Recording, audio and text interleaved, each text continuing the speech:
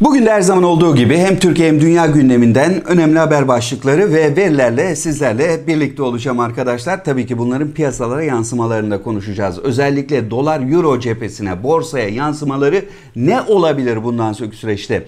Altın fiyatları acaba 1800'ün altında kalmaya devam edecek mi? Düşmeye devam edecek mi? Yoksa çok agresif bir şekilde yükseliş eğilimine mi girecek? Bunu da yine bu videoda sizler için paylaşacağım. Hepiniz hoş geldiniz sevgili dostlarım.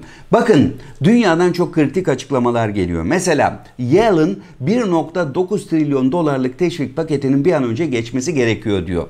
Aksi takdirde hem Amerikan ekonomisi hem de dünya ekonomisi bundan çok ciddi manada etkilenecek diyor. Özellikle de istihdam piyasasını yani işsizliği işaret ediyor. Peki biz işsizlik için ne yapıyoruz? Hiçbir şey arkadaşlar. Sadece kısa çalışma ödeneğini biraz daha erteliyoruz ki işsizliğimiz artıyor gibi görünmesin, düşük gibi görünmeye devam etsin. 31 Mart'a kadar ertelenmiş durumda. Yani kısa çalışma ödeneği 31 Mart'a kadar verilecek.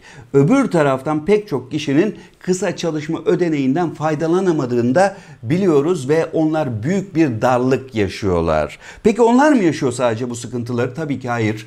Aynı zamanda çiftçinin icralık olduğunu biliyoruz. Traktörüne, tarlasına, arsasına el konulduğunu biliyoruz bankalar tarafından.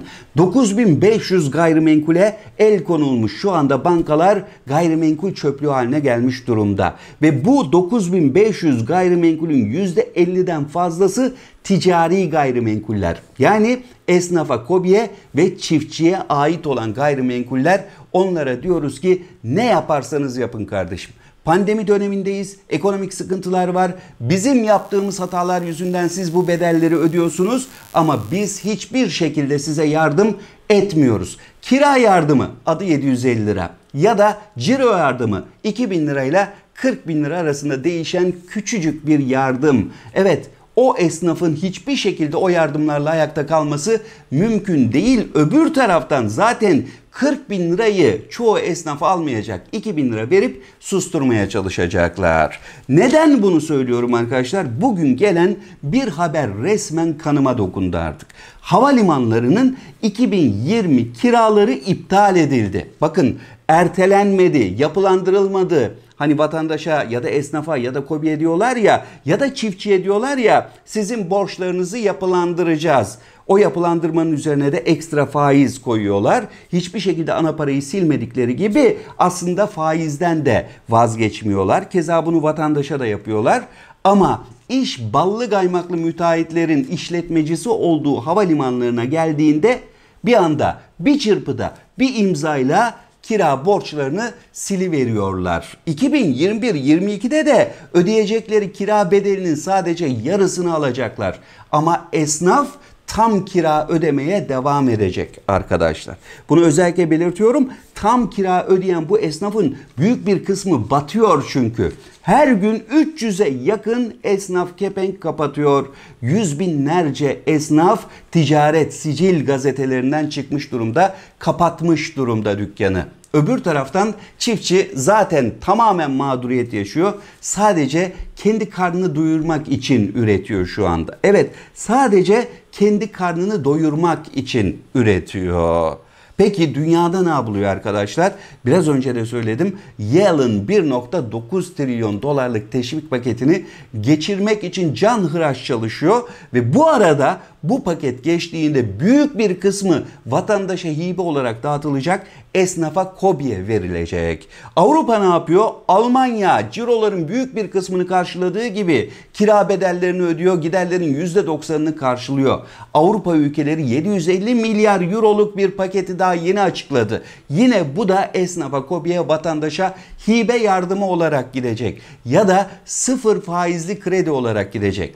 Bakın arkadaşlar dün İngiltere'deki bir Türk esnafının açıklamasını okudum. Onu sizlerle paylaşmak istiyorum. O kadar dramatik ki İngiltere'de yaşayan bir Türk vatandaşı artık İngiliz vatandaşı olmuş ama orada esnaflık yapıyor ve İngiliz hükümetinin kendisine yaptığı yardımları anlatıyor. 25 bin sterlinlik bir yardım almış hibe olarak bakın hibe olarak 25 bin sterlin ödenmiş kendisine kim tarafından İngiltere hükümet tarafından bitmemiş arkadaşlar arkadaşlar. Aynı zamanda 50 bin sterlin lira 50 bin sterlin daha ödenmiş. Bu 50 bin sterlin de sıfır faizli kredi olarak ödenmiş kendisine. Bir yıl ötelemeli 5 yıl geri ödemeli bir kredi üstelik sıfır faizli. Bizde bunun örneği var mı? Bir tane bile örneği yok arkadaşlar. Ama ballı kaymaklı müteahhitlerin kira ödemelerini silmeye geldiği zaman bir çırpıda sili veriyorlar. Ya da ballı kaymaklı müteahhitlerin vergisi silinmeye geldi mi bir çırpıda sili veriyorlar. Vatandaşın ne SGK borcu siliniyor ne de vergi borcu siliniyor. Ne de bankalarda şu anda ödeyemediği borçları siliniyor. Ama müteahhitin olduğu zaman bir çırpıda siline veriyor arkadaşlar. Neyse bu konunun detaylarını ilerleyen günlerde de sizlerle paylaşmaya devam edeceğim. Aslında ne kadar büyük bir adaletsizlik olduğunu söylemeye çalışıyorum. Birileri kayrılırken halkın genelinin nasıl kenara doğru itildiğini ve bu pandemi günlerinde nasıl büyük sıkıntılar yaşadığımızı anlatmak için bu örnekleri sizlerle paylaşıyorum arkadaşlar. NASA uzay aracını, evet NASA uzay aracını Mars'a indirdi. Ya bize ne kardeşim falan diyenler olabilir ama çok önemli bir şey bu arkadaşlar. Çünkü Mars dünyanın alternatifi olarak düşünülüyor. Bir. ikincisi Mars'ta daha önce bir yaşam olduğu düşünülüyor. Dolayısıyla Mars'ın neden yaşamayan bir gezegen haline geldiği araştırılıyor ve dünyada da bu konuya özel önlemleri nasıl alabiliriz diye uğraşıyorlar.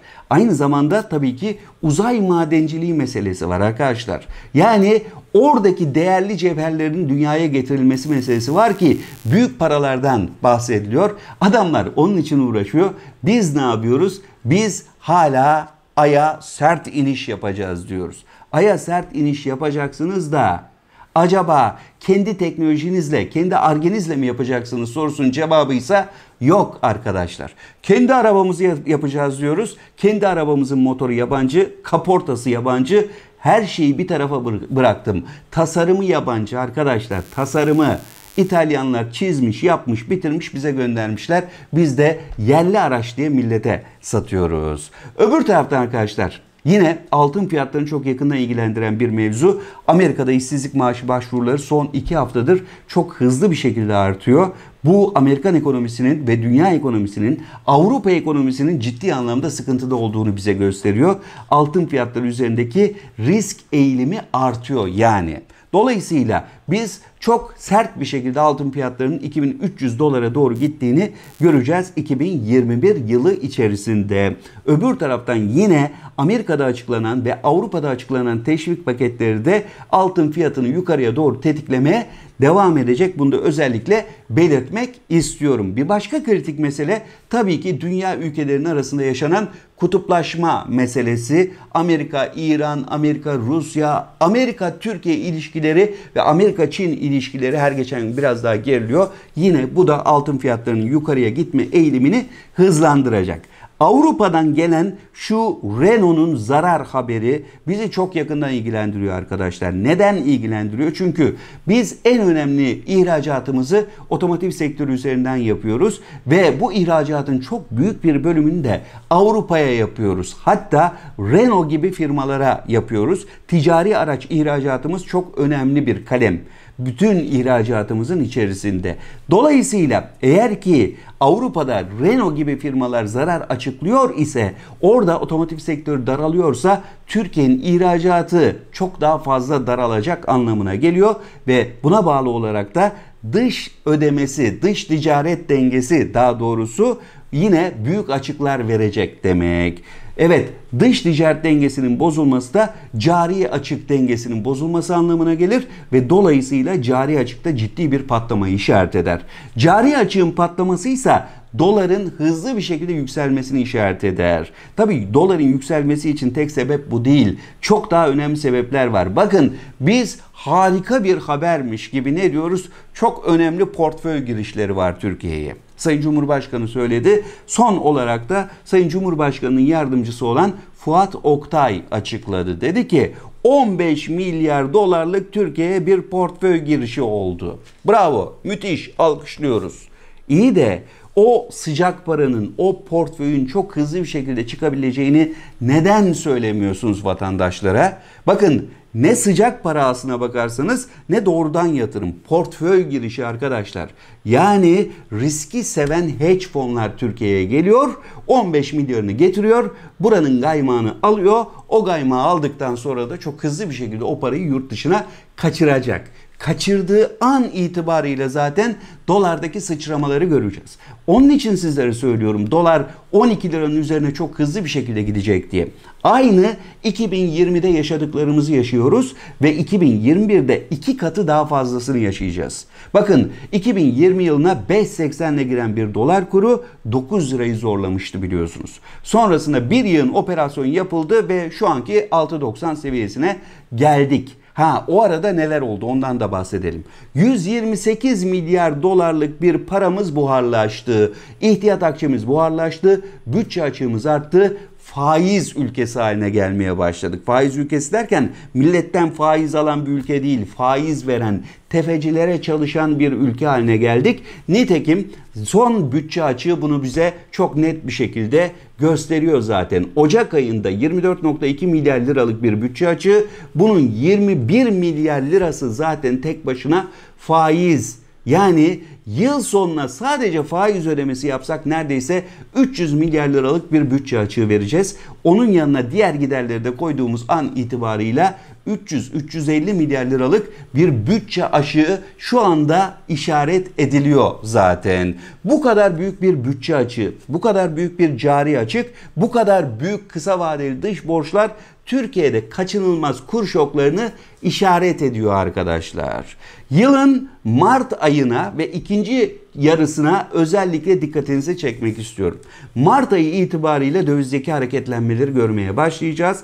İkinci yarı itibariyle de çok daha sert, çok daha agresif hareketler görmeye başlayacağız. Önce çift tane, sonra 12 lira, sonra 14-16 lira arasında bir dolar kuru göreceğiz ki euro ve sterlin de buna bağlı olarak yükseliş eğilimini sürdürecek. Bunun tabii ki gram altın üzerinde çok ciddi etkileri olacak ve Tabii ki altın onsu da 2300-2500 dolar seviyelerine gittiği an itibarıyla biz 1000 liranın üzerinde bir gram altın fiyatı göreceğiz. Velev ki geldiği yere giderse yani 8.50 olursa ve orada durmayı başarırsa çok zor arkadaşlar orada durması. Velev ki 8.50'de durmayı başarırsa altın onsun 2300 dolar civarına, civarına doğru yükseldiği ortamda biz gram altının 800 lirayla 1000 lira aralığına doğru gittiğini göreceğiz arkadaşlar. Dolayısıyla hem gram altın hem de Türkiye'deki dolar fiyatının hızlı yükselişlerine tanık olacağız. Bugünlerde paniklememenizde fayda var arkadaşlar. Ha tabii ki sizin kararınız. Biz asla yatırım tavsiyesi vermiyoruz sizlere. Ama Türk lirasının çok kırılgan olduğunu özellikle söyleyeyim. Öyle %17'lik faizlerle falan durdurulması mümkün olmayacak. Dünyada da faiz artırımları başlayacak ve dolayısıyla dünya faiz artırımları yaparken siz faiz artırımı yapsanız bile para güvenli limanlara akmaya başlayacak. Nereye gidecek? Amerika'ya gidecek, İngiltere'ye gidecek, hatta Rusya'ya gidecek Türkiye'de kalmak yerine. Dolayısıyla arkadaşlar bu çıkışlar dolar fiyatlarındaki yükselişleri hızlandırırken borsadaki yabancı çıkışları da şu anda suni bir şekilde yükselen borsanın tepe taklak olmasını beraberinde getirecek. Şimdi bir kez daha Fransa'daki şu 9.7 milyar dolarlık zararı sizlere anlatmak istiyorum. Renault'un yaptığı zarar bu. Demek ki arkadaşlar Avrupa hızla küçülüyor. Nitekim kısıtlamalar nedeniyle Euro bölgesinin daraldığını zaten görüyoruz. Euro bölgesinin daralması aynı zamanda bu tür otomotiv şirketlerin hızlı bir şekilde zarar açıklaması, büyük zararlar açıklaması Türkiye'deki ihracatın daha da dip olacağını bize gösteriyor. Biraz önce zaten ayrıntılı bir şekilde sizlerle paylaştım. Peki Türkiye'nin başka sorunları yok mu? En büyük sorunumuz ne mesela? Birincisi işsizlik elbette. Yani işsizlik rakamlarının %12.9 olduğuna inanıyor musunuz diye sorsam hiçbiriniz inanmıyorsunuz. Ama %28 olabilir mi desem muhtemelen o bile az diyeceksiniz ama belki diyeceksiniz. Yani ihtimal dahilinde diyeceksiniz. BİSAM'ın rakamı %28. Genişletilmiş işsizlik rakamlarına baktığımız zaman zaten %28'in üzerinde olduğunu çok net bir şekilde görüyoruz. Yani işsizlik Türkiye'nin en önemli sorunu bir tarafta duruyor. Bir başka önemli sorunumuz ne? Enflasyon tabii ki. TÜİK'in %14.9'luk enflasyona inanıyor musunuz diye kim mikrofon tutsa herkes inanmıyorum diyor. Peki sizce enflasyon nedir diye sorulduğunda %50'nin altında değil deniliyor. Peki vatandaş acaba bunu abartıyor olabilir mi? Hayır arkadaşlar. Pek çok önemli kurum ve kuruluşun çalışması var ve bunların rakamları da gösteriyor ki %40'ın üzerinde bir enflasyon var. Çok net bir şekilde. Gıda enflasyonuna baktığımız zaman evet %50'leri zorlayan hatta %50'lerin üzerine çıkan bir enflasyon var. Neden bunu söylüyoruz arkadaşlar? Bakın gıda enflasyonu önümüzdeki dönemde daha da artacak. Ne yazık ki. Yani bunu söylemek istemezdim. Hatta sizlere gıda fiyatları düşecek demek isterdim. Ama ne yazık ki Türkiye'nin yanlış ekonomi politikaları ve yanlış tarım politikaları nedeniyle ithalat odaklı bakış nedeniyle sadece kendini kayıran bir kesim nedeniyle gıda fiyatları yükselmeye devam edecek. Bakın tarımsal girdiler bir sene öncesine göre %17.52 oranında yükselmiş durumda. %17.52'lik bir yükseliş var tarım girdisinde, üretim girdisinde. Dolayısıyla arkadaşlar bunun yanına diğer girdileri de koyduğunuz an itibarıyla %30'lara yaklaşmış bir maliyet biniyor demektir. %30'luk bir maliyette bize fiyat olarak %30 %40 aralığında bir zam demektir. Yani %30 ile %40 oranında da gıda fiyatları artacak arkadaşlar. Peki üretici yüzünden mi artıyor sadece? Tabii ki hayır. Vergiler yüzünden artıyor, aracılar yüzünden artıyor, marketler yüzünden artıyor ama zincir marketler yüzünden. Yani sokak arasında marketlik yapan küçük esnaflar yüzünden değil yüz binlerce ulaşmak üzere olan zincir marketler yüzünden fiyatlar artıyor. Çünkü onlar fiyatları kafalarına göre belirliyor. Çiftçiyi de bitiriyorlar, sanayiciyi, üreticiyi de bitiriyorlar. Sadece kendileri kalkınıyorlar. Peki girdi maliyetleri neden artmış? Onlara da kısaca şöyle bir göz atalım. Hayvan yemi %25.24 oranında artmış. Dörtte bir oranında artmış arkadaşlar. Çiftlik binaları %27 oranında artmış. Makine bakım masrafları %37.96 oranında artmış. Gübre fiyatları %20 oranında artmış. Dolayısıyla girdi maliyetleri korkunç bir şekilde artıyor arkadaşlar. Ve dolar düşmesine rağmen artıyor. Bakın dolar düştü. Evet 8.50'den 6.90'a gelen bir dolar kuru var. %20'lik neredeyse geriye doğru bir çekilme var. Dolardaki bu düşüşe rağmen gübre fiyatından yem fiyatına, yem fiyatından ilaç fiyatına, makine bakım fiyatına kadar korkunç bir artış var tarım girdi maliyetlerinde. Dolayısıyla arkadaşlar ne yazık ki gıda fiyatları artacak. Bunu bir tarafa koyalım. Peki sadece bununla mı kalacak? Hayır tabii ki bununla kalmayacak arkadaşlar. Çünkü çünkü aynı zamanda Türkiye ithal etmeye devam ediyor. 1928-38 aralığında Türkiye'deki fabrikalar nasıl yapıldı biliyor musunuz arkadaşlar? Gıda ürünlerini Rusya'ya satarak onlara fabrika kurdurduk. Evet tarım ürünleri sattık. Patlıcan, domates, tahıl sattık Rusya'ya. Karşılığında fabrika yaptırdık o dönemde. Pek çok önemli fabrika o dönemde bu şekilde kuruldu biliyor musunuz? Sonrasında da onları haraç mezat bedavaya sattık ve tarımdan tamamen çıktık. Bugün de ithalatçı pozisyondayız. Peki nereden ithal ediyoruz sorusunun cevabını söyleyeyim mi sizlere? Rusya'dan arkadaşlar.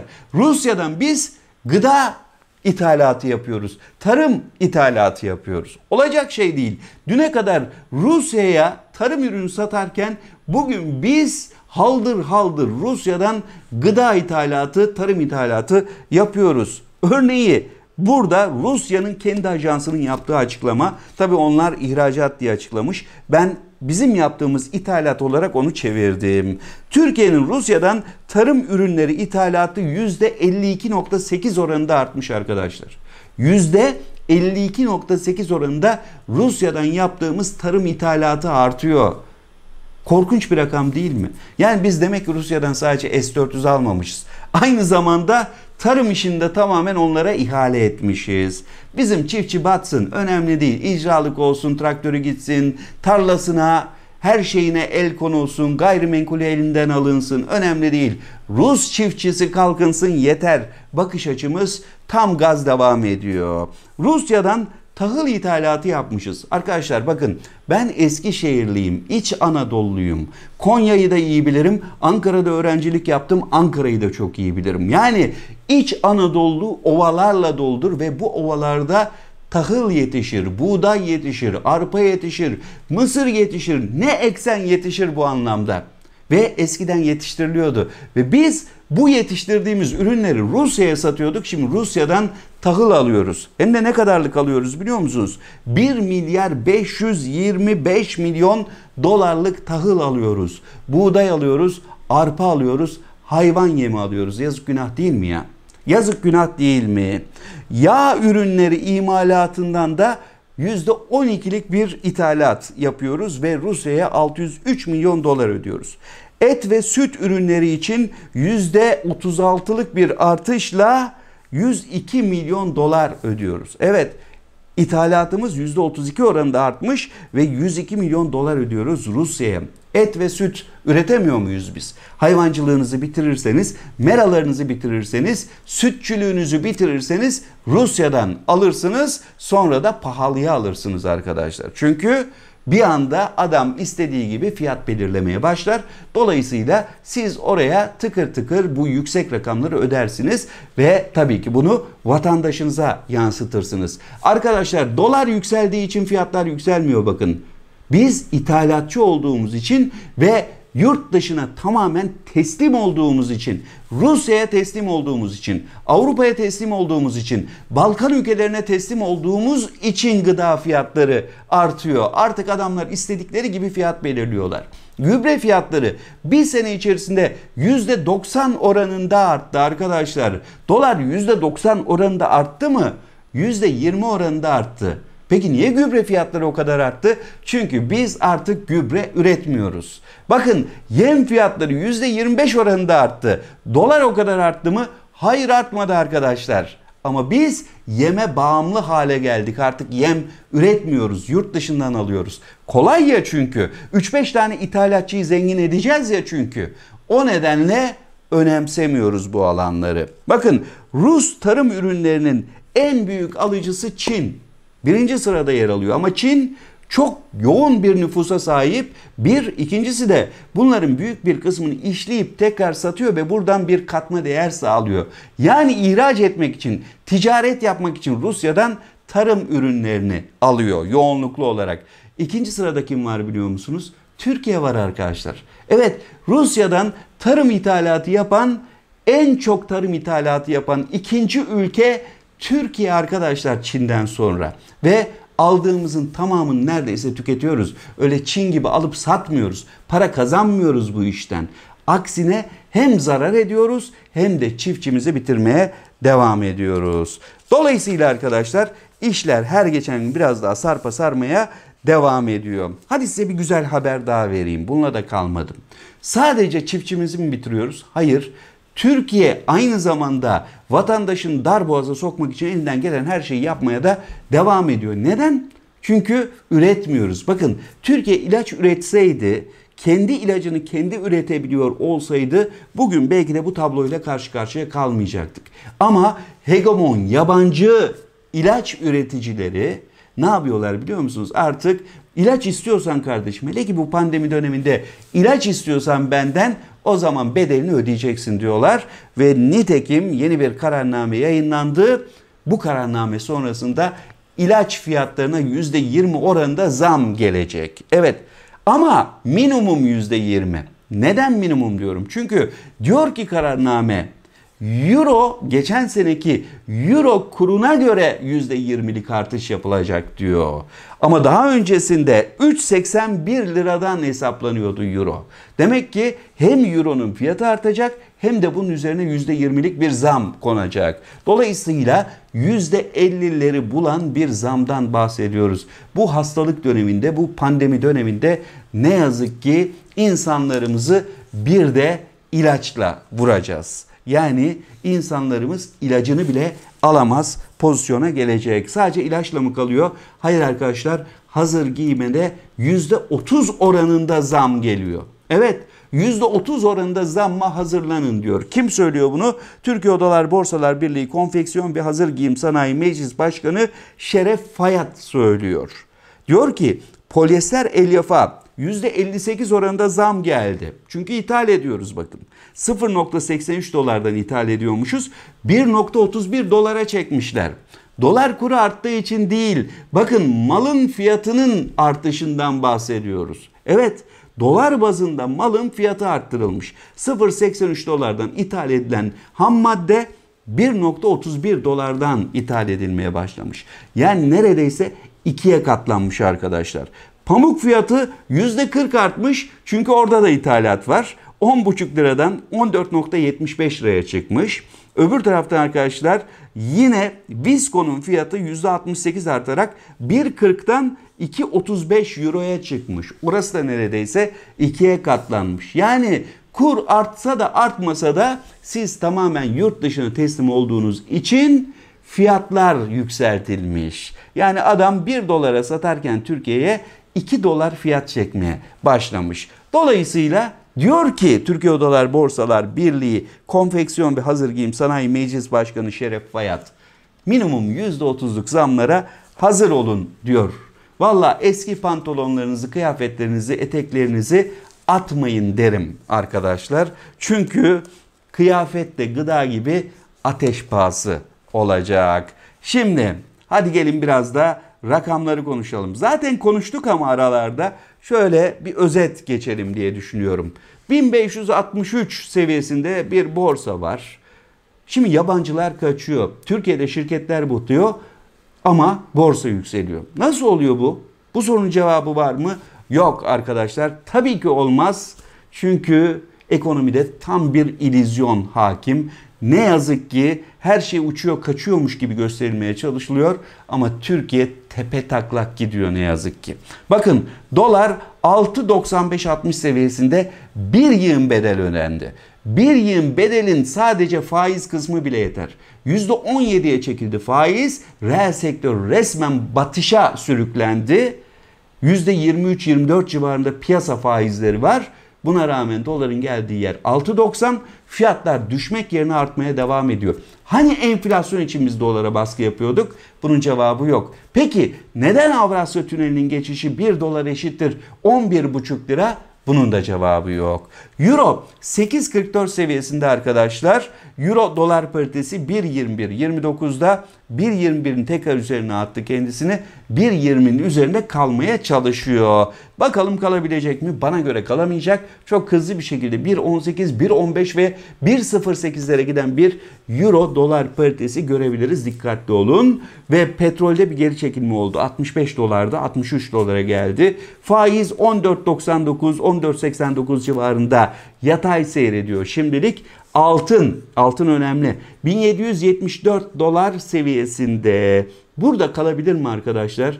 Bakın bunca risk varken ve korona bitmemişken ve mutos, mutasyon haberleri her geçen gün biraz daha derinleşirken altın fiyatının bu seviyede kalması mümkün değil. Arka arkaya gelen teşvik haberleriyle birlikte de altın fiyatlarının hızlı yükseliş eğilimini göreceğiz. Son olarak dolar bu sene çift tane 12, 14, 16 seviyeleri görülecek arkadaşlar.